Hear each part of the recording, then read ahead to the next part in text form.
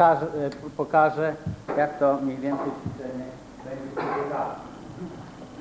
Więc sytuacja się przedstawia następująco, że jak wspomniałem, samolot, lecąca z samolotu, awaria samolotu, e, wy, e, ewakuują się piloci, samolot uderza w okolicach drogi z Lubawy na Chełmsko. E, Do pożaru tradycyjnie powstaje w tym momencie pożar e, i do pożaru dysponowane są siły i środki. E, Te, które tradycyjnie w pierwszym rzucie są alarmowane, a mianowicie Straż Pożarna, Policja, Pogotowie Ratunkowe. Na pierwszy sygnał te jednostki jadą do miejsca zdarzenia i podejmują swoje czynności. Straż Pożarna przystępuje do gaszenia, Policja przystępuje do zabezpieczenia miejsca zdarzenia, natomiast pogotowie ewakuuje, ewentualnie przewozi rannych. To jest pierwsza faza e, tego zdarzenia. Druga faza zdarzenia to jest poszukiwanie e, pilotów, którzy tu- tutaj z tego samolotu się ewakuowali i tutaj akcja, i tutaj akcja jest rozwijana. Wtedy e, kierownik akcji ratowniczo-gaśniczej, który przybywa na miejsce zdarzenia, podejmuje decyzję, że należy e, zawezwać większą ilość sił i środków, ponieważ teren jest górzysty, teren jest obszerny e, i, trzeba e, lasy przeczesywać, w związku z tym zapotrzebuje większą ilość sił i środków. I tutaj właśnie korzystając z Straży Granicznej, która znajduje się w pobliżu oraz to, że te, że te tereny są jej znane, Dzwonimy do Straży Granicznej. Straż Graniczna przekazuje pewną ilość sił i środków do dyspozycji kierownika akcji. E, Prosimy też komendanta policji o zwiększenie ilości sił i środków, ponieważ e, będzie potrzeba e, większej liczby ludzi. Dzwonimy również do leśników, którzy znają teren, w związku z tym mogą nas pokierować. Dzwonimy również do Górskiego Ochotniczego Pogotowia Ratunkowego, które w terenie górzystym jest nam niezbędnie potrzebne. Te siły środki, które są zapotrzebowane, stawiają się na miejsce e, zdarzenia w określonym czasie i wówczas również powiadamiany jest e, starosta e, jako szef Centrum Zarządzania Kryzysowego i bez którego, tak powiem, nic na terenie powiatu się przecież nie dzieje.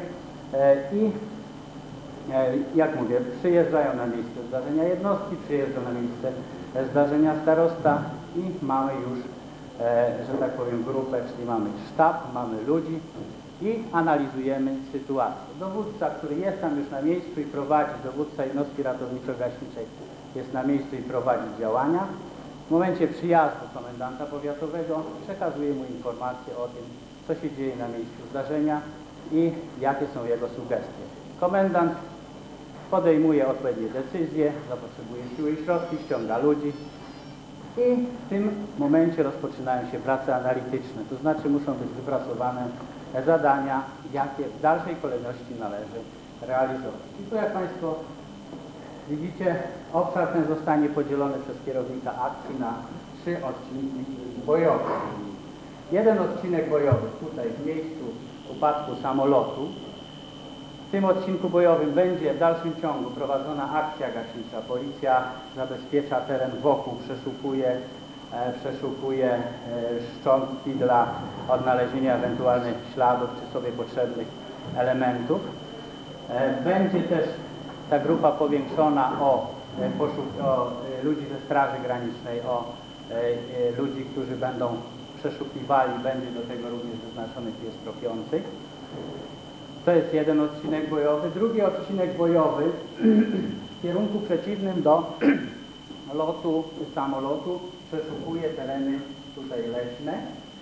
E, Do, e, dla kierownika tego odcinka bojowego wyznaczonych jest około e, 20 ludzi, również e, sen i wyznaczony teren do działania i ci ludzie ruszają do pracy. I trzeci odcinek bojowy e, następny obszar, że tak powiem, leśny do przeczesywania w kierunku przeciwnym do lotu samolotu i również tam podejmowane są prace e, poszukiwawcze.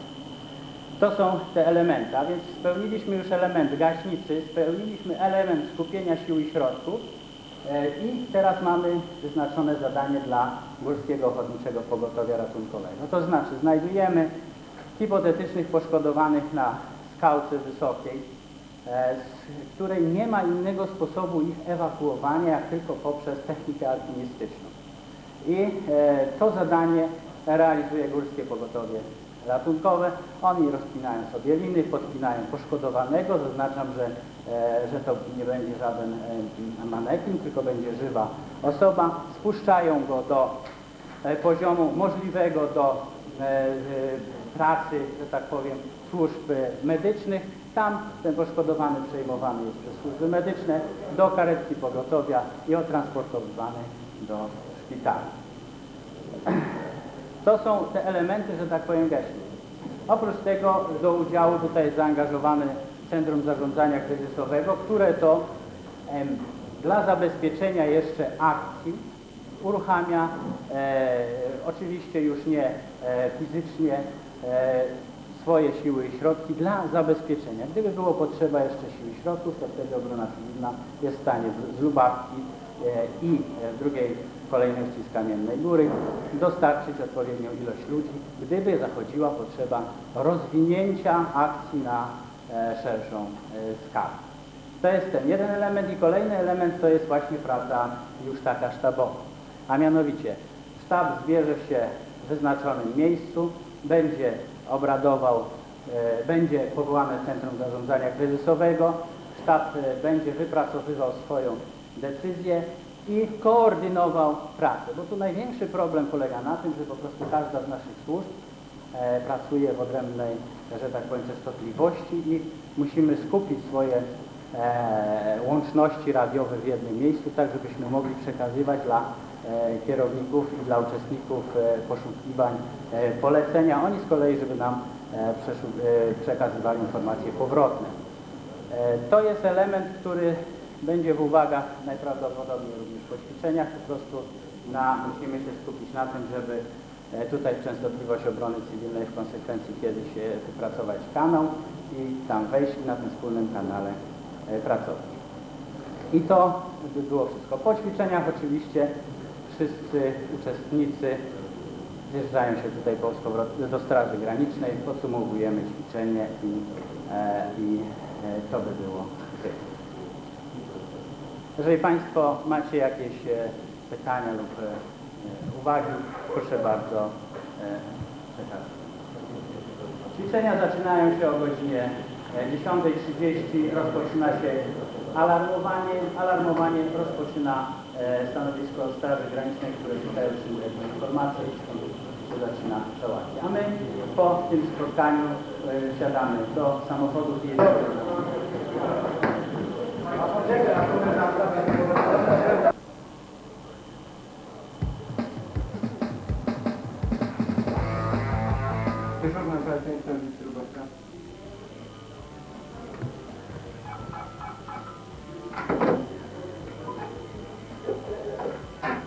Strażnica Lubawka, dyżurna operacyjny chorąż kulanek.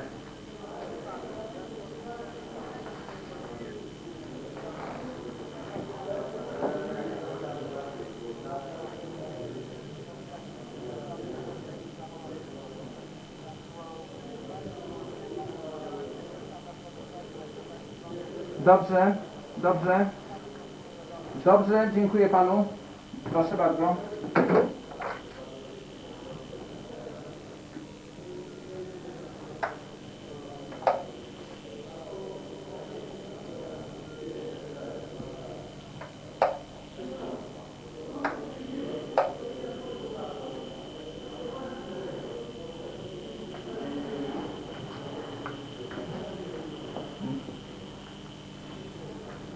Dzień dobry Pani. Dyżurny operacyjny strażnicy Lubawka Chorąży Kolanej. Proszę Panią, ja otrzymałem informację telefoniczną od osoby, od mieszkańca Chemska Śląskiego, że w rejonie drogi łączącej Chemsko-Lubawka po, po prawej stronie rozbił się najprawdopodobniej mały samolot. No, osoba tutaj tego faktu rozbicia samego nie widziała, natomiast słyszała potężny huk i ogromne kłęby dymu. Nad tym rejonem właśnie rozbicia y, widziała też osobę na spadochronie, to jest prawdopodobnie y, pilot, który się katapultował. Proszę o podjęcie działań. Chorąży Kolanek, Strażnica Straży Granicznej w Lubawce. Kolanek.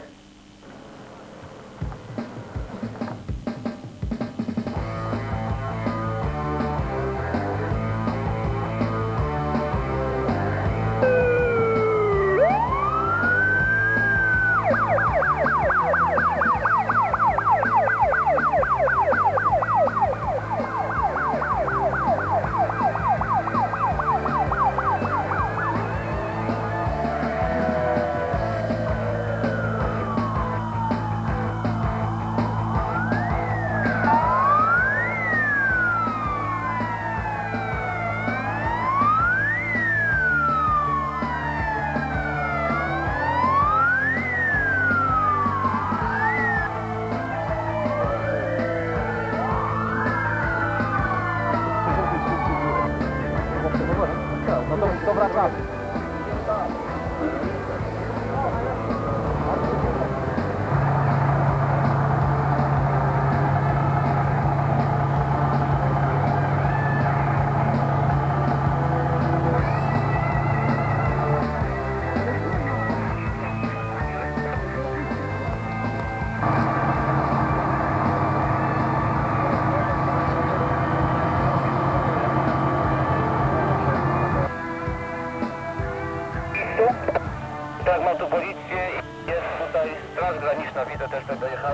zaczynają tutaj też yy, nam pomagać. e, w tej chwili tego ognia. On mówi częściowo został panowany las przez ogień, również ten las został ugaszony, odbiór.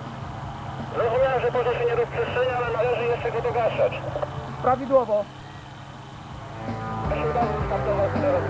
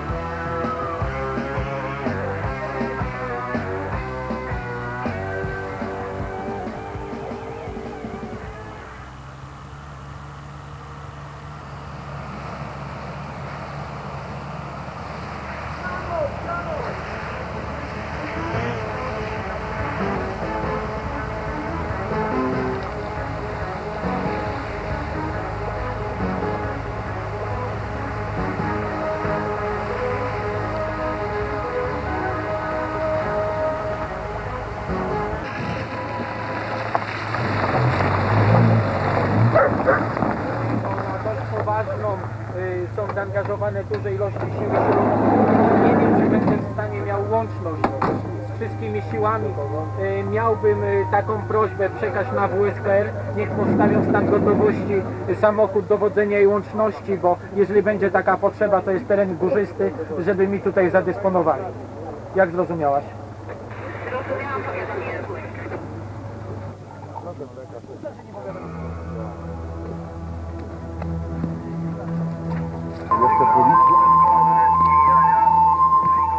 Panowie,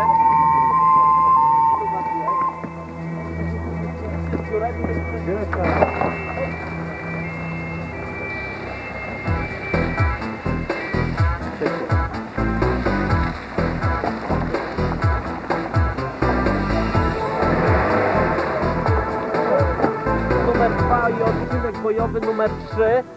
9 osób do odcinka bojowego numer 2 do Kruszkiewicza na plecach jest ten, do niego się zgłaszacie. Pierwszych 9 osób. Raz, dwa, trzy, cztery, pięć, sześć, siedem, osiem, dziewięć. To znaczy zapamiętajcie panowie, że ze mną będziecie. W mojej grupie, bo jeszcze... bojowy numer 3, czyli idą ze mną. Od drogi, po lewej stronie bądź po prawej, zależy się decyduję. Drugi szereg, druga grupa, leśny po prawej stronie. Dowódcami jest chorąży z- ze straży i kapitan ze straży.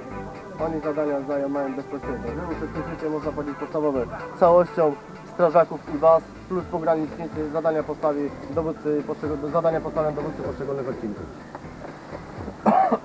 Łączność, łączność, proszę wziąć łączki działania. Stacje czy są porozdawane? Nie. Proszę porozdawać stacje, zaraz y, otrzymamy dane radiowe, przedstawimy. Proszę rozdać stacje tak, żeby było co drugi, co czwarty, ile mamy stacji? No czyli co drugi można powiedzieć stację. Plus jedną dla mnie. tam. Tak, ten, bo ten to jest ten nasz stary. Wszystkie siły zadysponowane, które przekazałaś mi, do, yy, dysponowane przez Ciebie, mam na miejscu, już są podzielone na trzy odcinki bojowe i dwa odcinki, drugi i trzeci yy, wyrusza w teren akcję poszukiwawczą. Pierwszy odcinek bojowy prowadzi dalej akcję zabezpieczającą, gaśniczą tego wraku samolotu. Jak mnie zrozumiałaś? pogotowie celem zabezpieczenia tutaj działań, jak również na wypadek y, w przypadku znalezienia poszkodowanych mamy na miejscu. Dziękuję.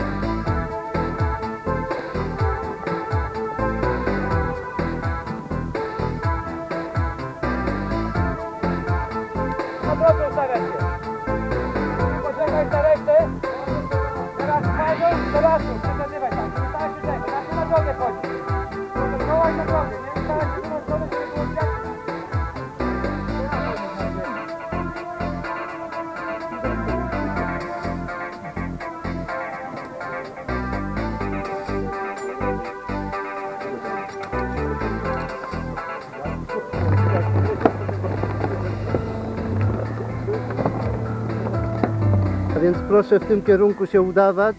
Tam już jest pierwsza grupa, zaopatrujemy z dołu, podchodzimy z Markiem również i będziemy szykować y, stanowisko. Dobra, zrozumiałem. Czyli y, tylarierę na razie odwołuję i ja przemieszczam się w kierunku kamieniołu. To znaczy całą tą terarierą możecie przeczesać y, ten teren, jeszcze może coś się tam jeszcze znajdzie, bo nie wiadomo ile osób było w samolocie. Są znalezione dwie, tam prowadzą dopiero rozmowy i jeżeli się okaże, że tylko dwie były, to tak, jeżeli ktoś jeszcze, to proszę tą terarierą podejść do końca.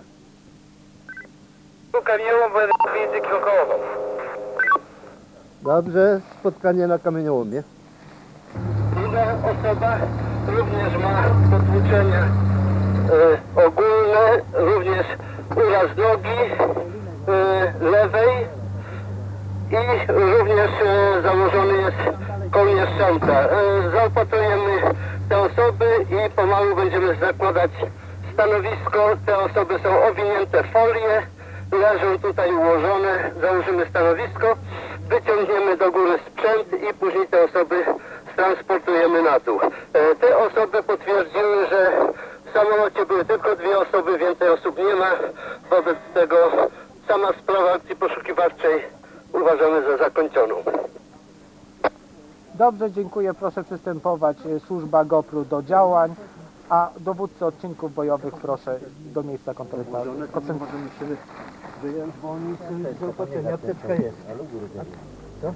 Ale tam nie będzie, to pod głowę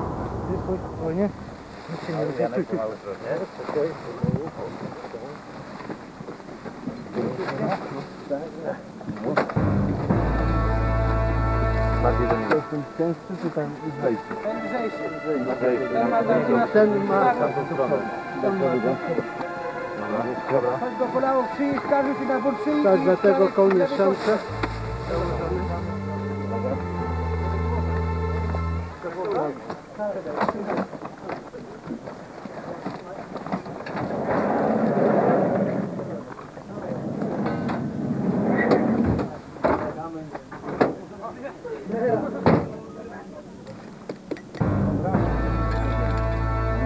zgłoś się do domu.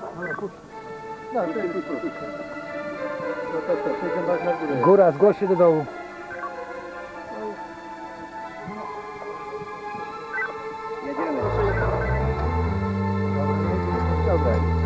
Teraz już pakujecie tam. Tak, tak, pakuję wam tego. Masz kask dla niego? Trzymaj,